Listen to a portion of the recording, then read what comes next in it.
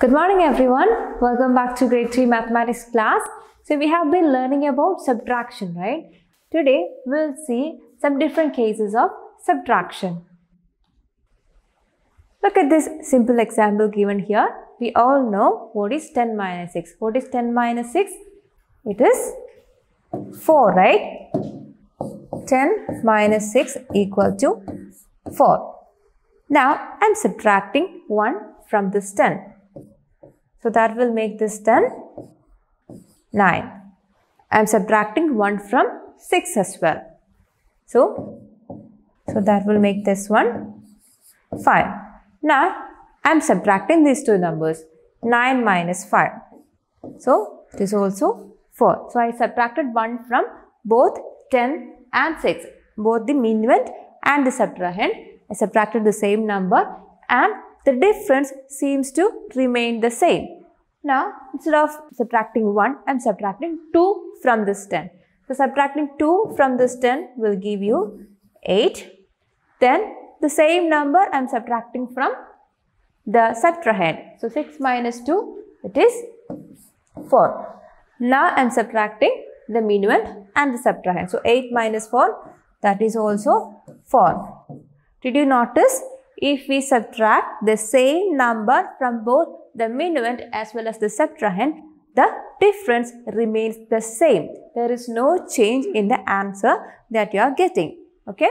Now, keep this point in your mind. Look at this example. Subtract 234 from 400. How do we usually do this subtraction? We write the minuend 400. We put the minus symbol, write the subtrahend below it in proper columns. Then to subtract this, what do we do? We cannot do 4, 0 minus 4. So what do we do? We regroup, right? We regroup from the next place. In the next place also, that is 10, sorry, 0. So we go to the next place. So we regroup this as like this, right? And then we do the subtraction. 10 minus 4, 6, 9 minus 3, 6 and 3 minus 2, 1. This is usually how we do the subtraction, right? And it takes a little bit of time to actually regroup and then subtract, right? What if we have a shortcut instead of this regrouping? Let's see that shortcut now.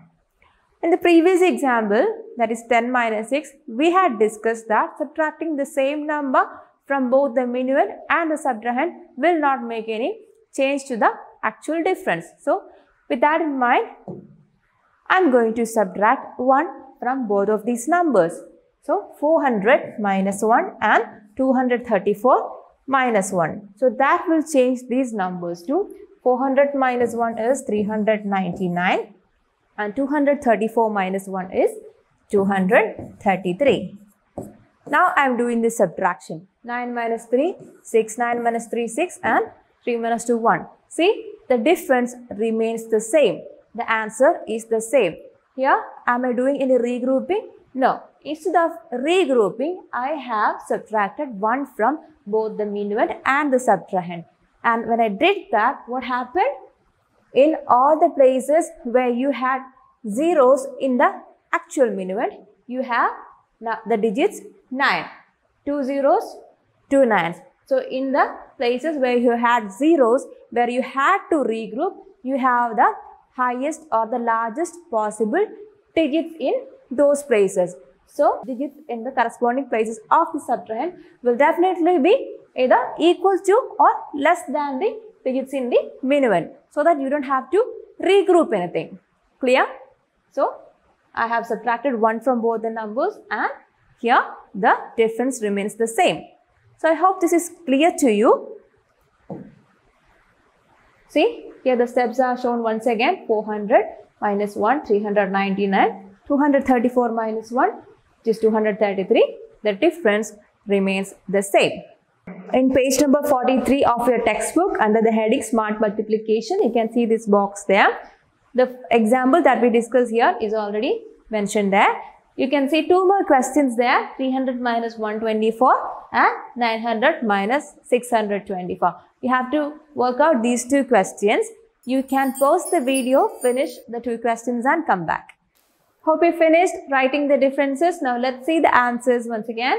So 300 minus 124. So from the shortcut that we learned earlier today, we can rewrite this as 299 minus 123 which is 300 minus 1 and 124 minus 1. Let's do the subtraction easily. 9 minus 3 is 6, 9 minus 2 7 and 2 minus 1 is 1. So it's the difference is 176.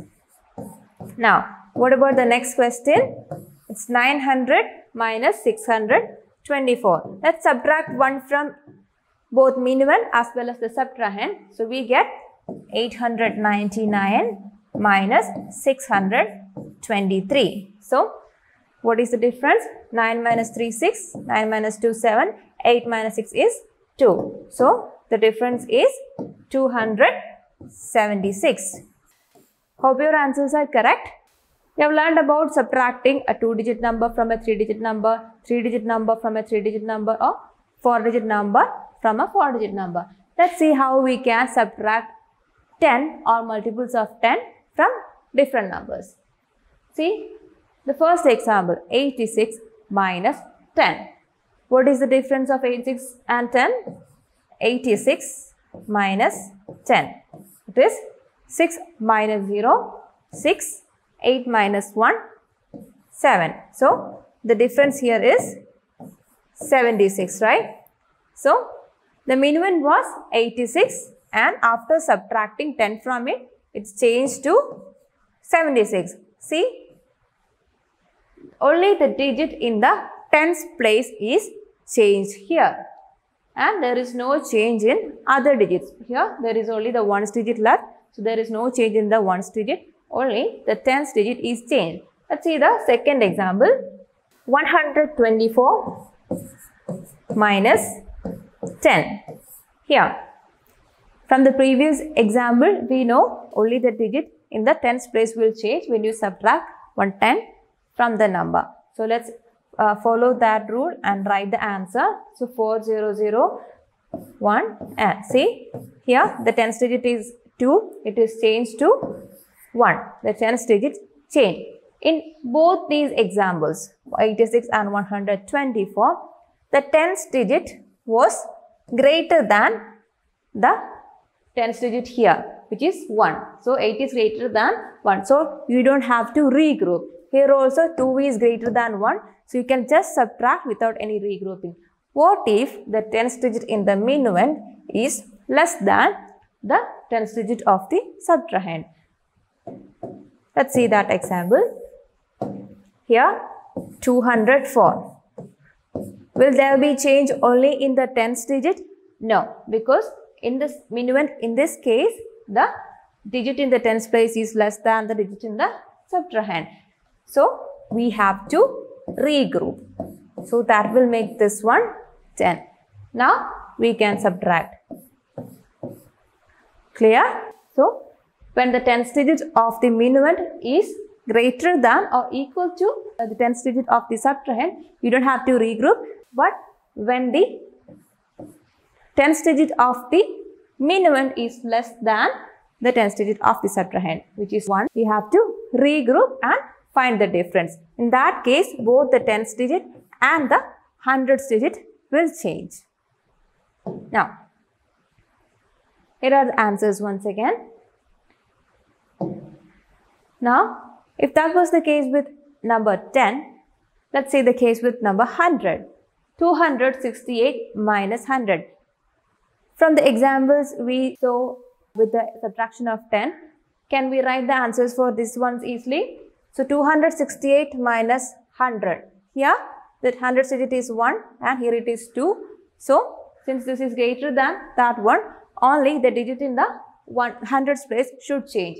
So, with that in mind, we can easily write the answer for this subtraction as 268 minus 100. 2 minus 1 is 1, then 168. So, what about 1832 minus 100? Here the 100 digit is 8 and here 1 here. So, 8 is bigger. So, you can easily do the subtraction as 8 minus 1. All the other digits remain unchanged. So, it is 1, 8 minus 1, 7, then 3, 2. So 1832 minus 100 will be 1732. Now the third number 4056 minus 100. Here the hundredth digit is less than the hundredth digit of the subtrahend. So what do we do? We have to regroup and when you do that the digits to the right of it will also change. Let's see how we can do the subtraction. 4056 minus 100. Here no change in the digits and here we regroup the hundreds. So it's 10 minus 1, 9. Now bringing the 3 down. See the digits in the hundreds place as well as the thousands place changed because we had to regroup.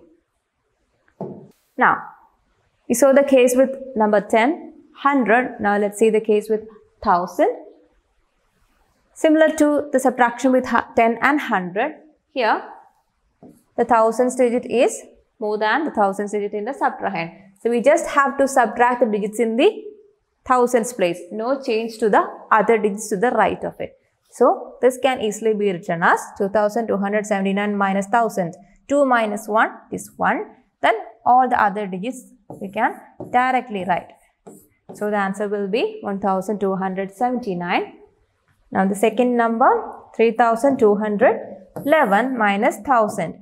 Here also only the digits in the thousands place changes. So 3 minus 1 will be 2. Now all the other digits. You can easily do the subtraction 2211. Now let's see the third case. The third case you have 0 here and 1 here. You cannot do 0 minus 1. So you will have to regroup. So let's see that 7789 minus 1000. All the digits to the right of it will remain unchanged. Now here we regroup. So this will be 69,789. I hope this is clear to you. Now, you can see this topic in page number 43 under the heading pattern in maths. Please go to the topic and there are a few questions to be filled there. We can pause the video, finish these questions and come back. Hope you finished writing the answers. Now let's check them. Here, this is the subtraction with 10. So, 343 minus 10. We just need to subtract only this 4 and 1. Here 4 is greater than this 1. So, no changes to any other digits in any other places. So, 343 minus 10 will be 3, 4 minus 1, 3 and 3, 333. Now, the next question, 493 minus 10. We write the 4, then this 9 minus 1, it is 8, then writing that 3. So, it will be 483. 549 minus 10. Here, it's 5 here, 4 minus 1, it is 3. Then writing that 9 here, it will be 539. 674 minus 10. Writing the 6, 7 minus 1 is 6. Now 4. So here the difference is 664. Next we have the subtraction with 100. Now 619 minus 100. 6 minus 1 is 5. No changes to other digits. So it's 519. Here it is 7 minus 1, 6, then 7 and 5, 675. Here it is 844 minus 100. 8 minus 1, it is 7. Here, no other changes. 4 minus 4 will be 4 itself. 4, 4 minus 0 will be 4 itself and 4 minus 0, 4. So, you can directly write the answer as 744. Here, we have a 4 digit number Let's look at the digits in the hundreds place. It's 2 and 1. So, the thousands place remain unchanged. 2 minus 1 is 1. Then, writing this tens digit and ones digit will give you the difference 1145. Let's see the case of subtraction with 1000. Here, the minuend has a greater or bigger thousands digit and 3 minus 1 it is 2 no change to other digits it's 2843. Now 4235 minus 1000. 4 minus 1, 3. Then writing the other digits will give you 3235. 5678 minus 1000. It is 5 minus 1, 4, 6, 7, 8. So here the answer is 4678. Now 8008 minus 1000. 8 minus 1, 7. Then it is 7008. Hope your answers are correct. If you are done with that, just below that you can see this heading HOTS. Fill in the boxes and complete the subtraction problems. You have to do the first three questions, questions A, B and C. You can pause the video, finish the exercise and come back. The first question 385 minus will give you difference here. So we know the difference plus the subtrahend will give you the minuend. So with that in mind, let's see 2 plus dash gives 5. 2 plus what gives 5 or 5 minus 2 it is 3. 2 plus 3 gives you 5. So here we can find the difference directly 8 minus 7 it is 1. And here again 2 plus dash gives 3 or 3 minus 2 it is 1. 2 plus 1 gives you 3. So here these are the correct missing digits. Now the second question 8 minus dash gives you 5. 8 minus what gives you 5? We can also do 8 minus 5 to get the subtrahend digit here. It is 3. So 8 minus 3 gives you 5. 7 minus 7 0. 4 minus dash gives you 2. We can also do 4 minus 2 to get the subtrahend digit here. So it should be 2 here. See 2 plus 2 4. Now the third one 5 minus dash gives you 3. You can also do 5 minus 3 to get the digit missing here. It is 2. And 5 minus 2 it's 3. 6 minus 4 2 and 9 minus what gives you 8 or 9 minus 8 it is 1. 9 minus 1 8. So these are the correct missing digits. Hope your answers are correct. So we've learned about a shortcut way of uh, doing subtraction, subtracting numbers which have zeros in all the places except the digit at the highest place. And we also saw how we can subtract 10, 100 and 1000 easily from numbers as an activity for the day. There are a few more questions under the heading HOTS which is in page number 44. You have to do the question D to I. Once you finish, you can take the picture and to send us. So that's all for today. We'll meet in the next class with a new topic. Until then, bye.